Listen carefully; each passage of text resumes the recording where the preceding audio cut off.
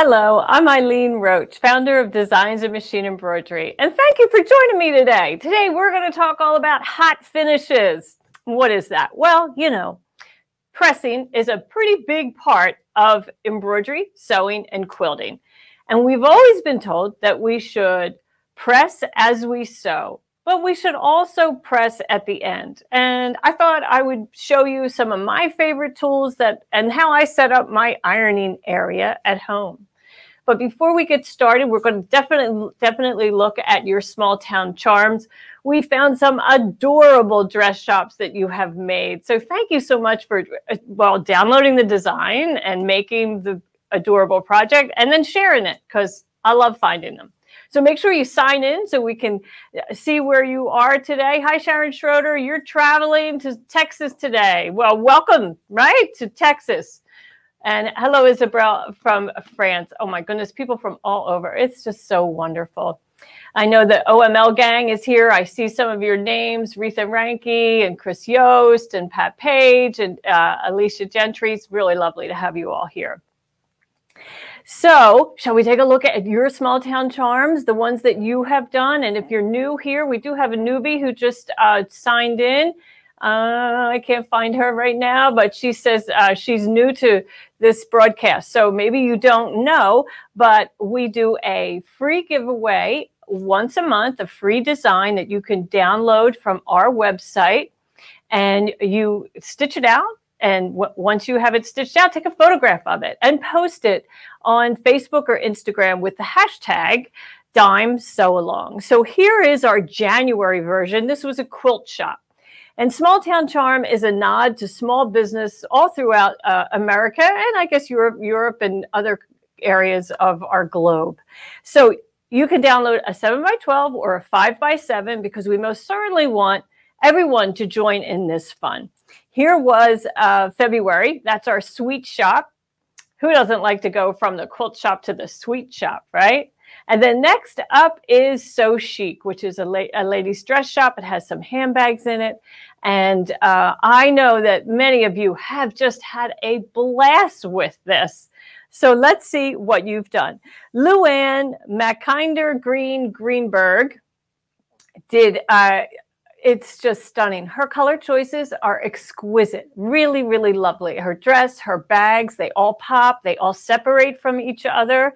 And she named her her her store mode of day. Um, so I, I guess there's uh, a lot of me memory to her of that door. I mean, of that small town charm. I think where she grew up as in as in junior high and high school, that was her shop that she liked to shop at.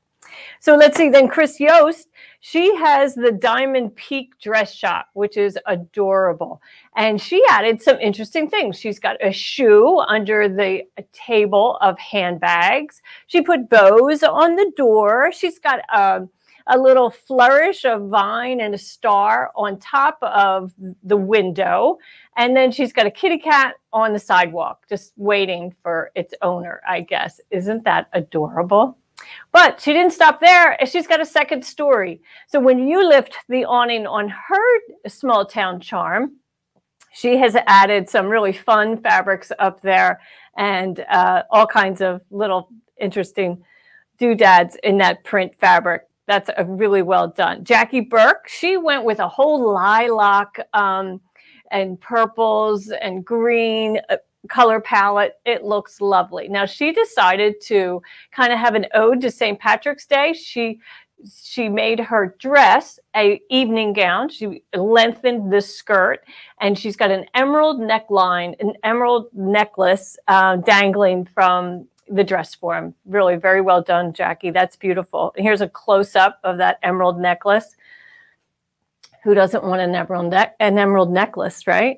Okay, then Patricia O'Neill Page, she named her shop Posh. Love that name. She did a great job. I really like that. And again, her the colors that she chose for her bags really complement one another. They look just lovely. And she also did, uh, I would say, a nod to St. Patrick's Day with that green pretty dress.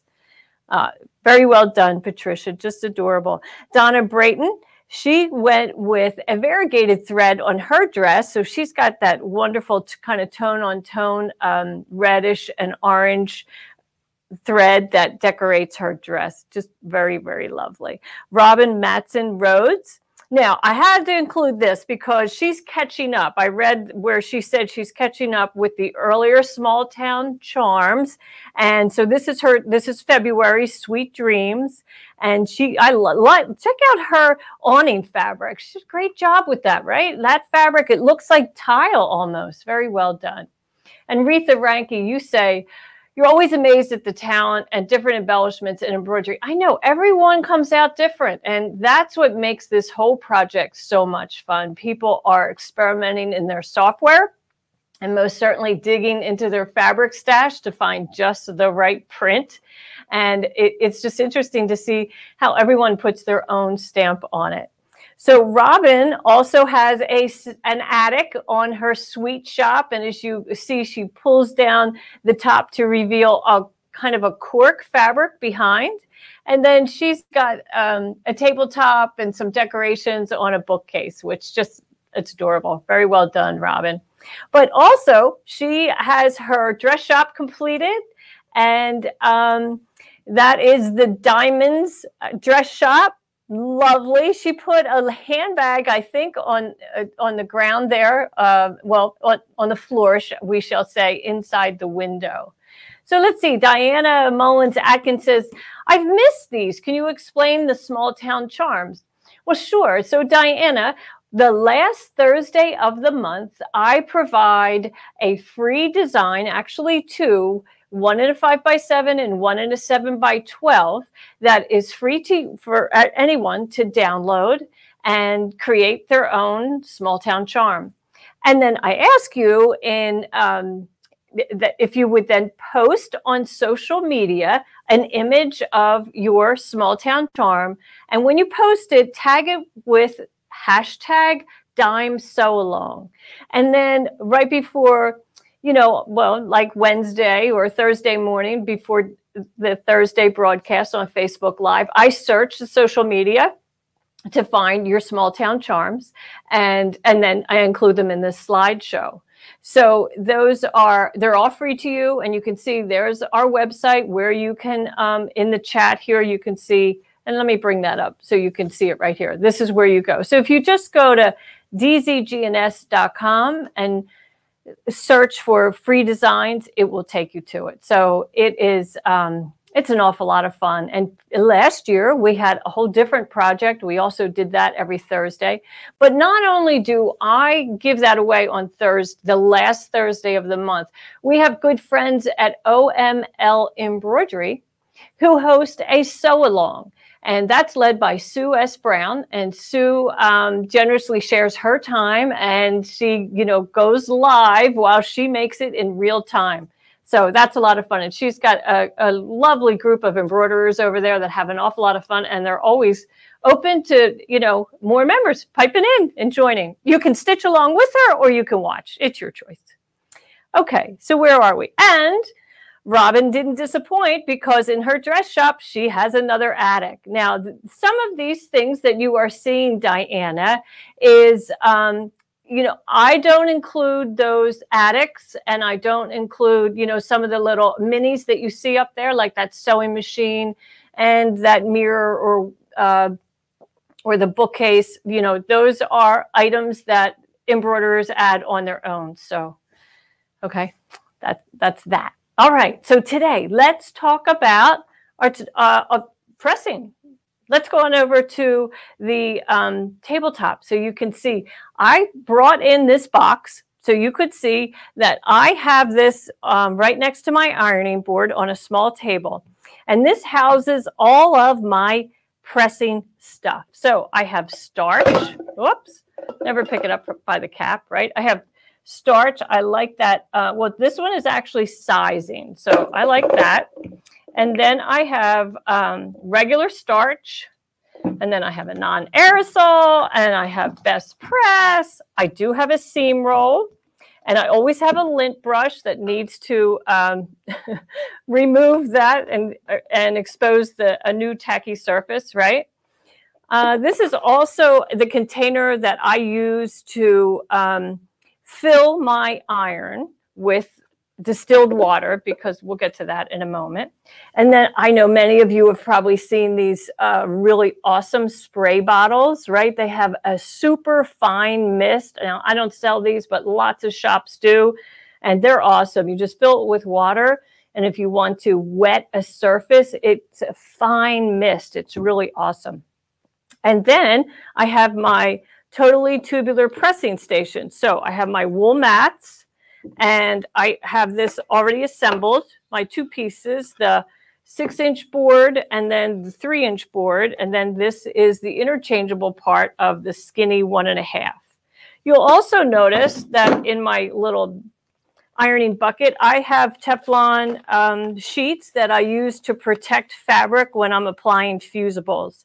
And you know, these come pretty big, but sometimes I cut them down into more manageable sizes because I often am just you know, maybe adding some fusible to a ribbon or something. And so then I only need a little piece of this and it's easier to clean. And to clean, you know, you really just kind of run your thumb across that surface and see that fusible stuff just comes right off. So, um, but I'm sure you know that. or you've, or you, maybe you're like me and you've ruined enough irons in your time. Okay, so I'm going to pull out these uh, tools and I'm just going to set my iron here and it is on, it's hot. So um, let's hope I don't, I don't burn myself during a broadcast because I've been known to do that. It gets a little nerve wracking up here. Okay, so the totally tubular pressing station is a pretty cool thing. So I'm going to turn it on its side. So you can see that it is wood and it has plastic plates and a post. And they separate just by uh, slipping them aside. Here, I guess I could do it this way. I kind of need both, both thumbs. And then I can switch out my boards.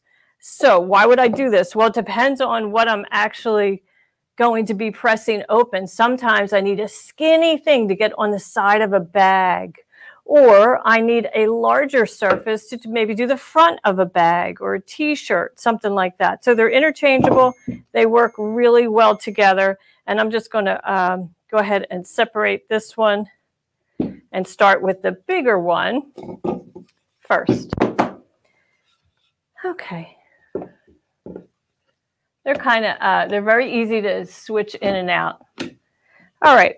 So the first thing I'm going to show you is I made this um, kind of a dopp kit recently, and this is a pattern by Bodobo Bags. Um, I don't have a relationship with these people, but I just thought I would show you. I'd give you give them a shout out. The, the name of this bag is the Mini Ditty. Super cute. Comes in all these different sizes, and this is, I think, the medium size. And it is lined. Let's open it up. It's lined and interlined with fusible fleece. And I brought that bolt so you could see what that's like. So it's fusible on one side. This side is rough and this side is smooth. So I apply this to the outer fabric and but it's, you know, it's thin, right? Look how thin it is, you know, so um, it's not real thick. I just wanted to let you understand that.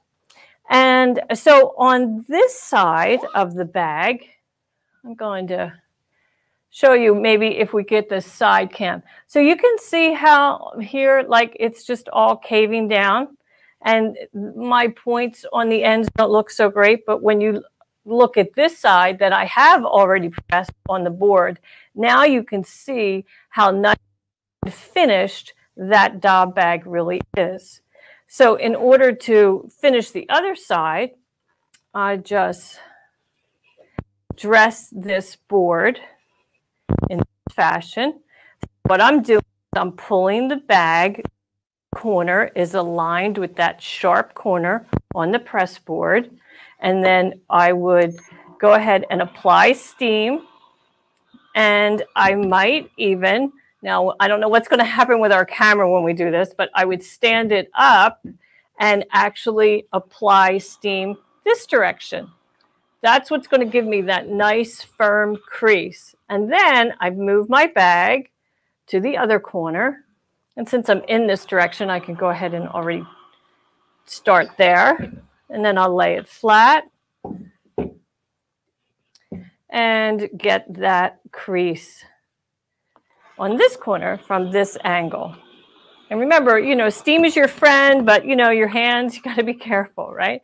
And so now you can see what a difference that bag makes, makes. Now all four sides are nice and defined and they really look professional. I would go and do the same thing with this edge and we can go ahead and do that while we're waiting. Uh, I mean, while you're watching.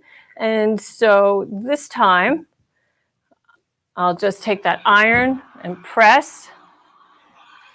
And actually, maybe it's easier if I put the bag set the bag on the inside and then I get a, a deeper crease, you know, because I can put the iron on this side. So I would just continue finishing that bag and there you have it. I mean, to me, that's a total upgrade on that little dopp bag. It looks so much more professional now. Right? Would you agree? Yeah. Okay. So now let's see. I have some other things to look at oh, like here's our little vintage clutch. These are so cute, right? We make these all in the hoop and that's our vintage thread. So this was a sample that oh, we did about a year ago. And you can see it, it's already glued into its uh, frame. But here's one that's in progress. And so this is a good example of when you uh, press as you sew, right? So I'm going to start on the back side and I'll just dress that right that board. And again, I'm going to pull the fabric down so that I'm getting a nice sharp corner there. And I will give it a nice crease. I can even turn it up, do that edge nice and sharp, and do the same thing on this edge you know, when we made these boards, it was, you know, kind of hard to decide what size would you make the width because we wanted to accommodate a lot of different fabrics. But then I learned, well, as long as you can get the bag over the board, then you most certainly can do it in two pressings, you know, one corner and then slide it and then do the other. So isn't that fun? Oh, I love this bag. Look how colorful. I can't wait to get this finished and use it. It's really going to be great for summertime when that comes. I know some of you, your comments, you're like, oh, it's uh, where you are is snowy and cold and winter is still there. But I know many of us like to do, you know, the foam, right?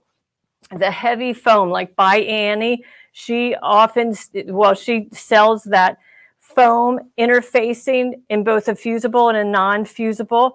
But, you know, they don't have a lot of shape, but you can give them shape most certainly on these boards. So now I'm going to flip this over and I'm going to do the three inch side and I'm just aligning the edge of that corner with the sharp edge of the board and I'm going to give it a nice strong press. And again, I would do that same thing on this side. And, you know, I would also stand it up, make sure I can get a nice uh, corner press on the bottom of the bag and then move the fabric, the bag, so that I'm then uh, concentrating on the opposite corner. And this really does give definition to bags. This is how you get that nice professional finish so that it looks like it's, you know, maybe if you're a Bradley bag that you purchased. I mean, it's all in the finishing. All your hard work that you did in making that bag so look at the difference in the two sides. Here we have more definition. Here, this is still all, you know, poking out, just kind of like in a circular pattern. And of course, we could flip the board and then do that front really well. Like if you have some creases, if you fused it, this is how you would take that out with steam. Okay, so you get the picture, but you know, I would finish this side so that I would have an even bag. Okay, they're fun, right? Love those little baskets. They're great storage units for sure. But also, how about pressing? So real pressing. So here I have a onesie that I'm going to add some trim to the neckline. And just because I can embroider doesn't mean I have to embroider everything, right? So in this instance, I'm dressing that little onesie right over the board. Now I have this attractive, you know, kind of delicate trim, and I have fused a fusible web on the wrong side. I, and of course, I did use our Fuse Me, our new fusible web that we're just loving. Okay, and then I'm just going to hit this with, and I really don't need steam. Oh, and see, that's exactly what you shouldn't do because look what happened. well, we have a very interesting design here. Very interesting design. Okay, so if you're using steam, right, that's what happens. So let's see if we can resurrect this. We'll just tuck that little flower underneath the overlap shoulder. And I'm gonna, I turned that steam off and now let's give it a nice firm press. Now, a little trick that maybe a lot of you don't know is um, fusibles will often, the glue will trap, once the heat is applied, the glue travels towards the heat. It's drawn to the heat. So to get a extra secure, if you're not sure if your fusible works like that, turn the garment inside out and repress. Now this is a really good time to add the wool mat. I'm just going to put that over there because now I don't want to crush those pretty flowers. I mean, I kind of did, you know, when I was applying the, uh, the, the fusible web to it, but let's not keep doing that. So now when I press from the back, that glue is coming towards my iron, which is exactly what we want. We want it to adhere that trim to the base fabric, which is our um, adorable onesie. So that worked out pretty good. Now my ends are, I'm going to trim them down. I would just cut those off because I didn't, you know, I kind of just hid them underneath that shoulder overlap. So I would trim them before I gave that to the mommy. And could I add embroidery? Well, I do have, uh, I do have a stabilizer on the wrong side. So I could add, you know, mommy's little favorite or some adorable little saying, or pull off the stabilizer and just wrap it up and give it away. There's that. Okay. But here's a onesie that is done. This is a rocket for a little boy. This was actually a patch that was applied on. So again, I would turn this wrong side out. And here I have um, stabilizer applied really to kind of just soften the back. And to press that embroidery, press it from the back on this lovely wool mat, and then it won't flatten out which is a great way to finish embroidery. And I know that many of us, you know, are always looking for ways to finish embroidery so that we don't harm the stitches that we spent so much time applying. Here is, here I'm going to show you two versions of this. So here's a shirt that's already complete. This is my simple to chic necklines. And uh, this is a regular crew shirt that I apply that beautiful embroidery to. And the last thing we do is add some uh, interfacing. And, you know, the trick is in the collection, but then that opens this t-shirt and turns it into um, an eyelet lace design. So here I have one in progress. Sorry that it's gray, gray on gray on gray. It's not very appetizing, right? But you can see this is the right side and here's all the embroidery that's already been applied. And my goal now is to pull this to the wrong side so that we don't see it from the front. And that's what finishes the edge. So I'm going to turn this inside out and inside out or right side in. And now I position that on top of this board. And gently I pull my interfacing to the wrong side of the garment. And here, I'll move up a little bit so you can get a good look. Okay, so now I'm going to take some time to, and I actually start at the V down here because this is the trickiest part. It, it is digitized that you, so that you can have enough of the interfacing to pull to the wrong side and get a nice clean finish. And I'm just kind of working it. You know, it takes a moment. You've already spent time embroidering on this garment. So don't rush the finish. You want the finish to be uh, the professional finish that gives you that great opening in the front without any interfacing showing. So I'm pulling this and working that fabric so that the interfacing is not going to show on the front. And take your time. Don't apply the heat until you're sure you have it the way you want it. And then on these little corners, uh, we just actually have too much here and I don't think I have a pair of scissors near me. But anyway, you're all so kind. You'll let me go get a pair of scissors, won't you? They're just right over here, right out of arm's reach. Okay, here we go. We got them. So I would trim some of this off. That's a little too much. Just trim some of that off. And then we want to fold a little V at the top. That's how we're going to finish that top. And I actually tack that down with the interfacing just on the corner. And then, then I work that the rest. There we go. And then you'll see when I turn this, of course we get rid of that gray matte, gray on gray, not a very good choice, right? And then you can see no interfacing shows. So that's the way to finish that. And then when you are all finished, and then you can take your finished garment like this coral one, and then I would turn that inside out again because you want to give it a nice final press without uh, flattening the embroidery, although a lot of that is run stitches, but there are some pretty little satin um, flowers that you don't want to flatten. And when we stitch that, I mean, we when we press it on the wool mat, it's nice. It's really nice. It lets that embroidery stay up.